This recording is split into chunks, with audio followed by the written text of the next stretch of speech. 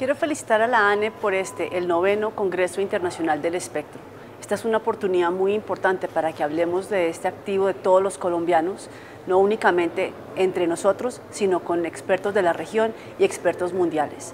Es una vez más una oportunidad para que Colombia pueda compartir todo lo que estamos haciendo en Espectro. En este último año hemos logrado hacer un cambio radical en el marco jurídico de Espectro a través de la Ley 1978, que nos permite una asignación de hasta 20 años y no solo hasta 10 años como era antes, que nos da un lineamiento muy claro en el sentido que el Espectro es una herramienta para el bienestar social y no para recaudo, y así lo estamos haciendo. Ya hemos abierto el proceso para la subasta de asignación de 700, 1900 y 2500. Ya hemos hecho la primera ronda de asignación de la banda E y estamos ya en nuestra segunda ronda.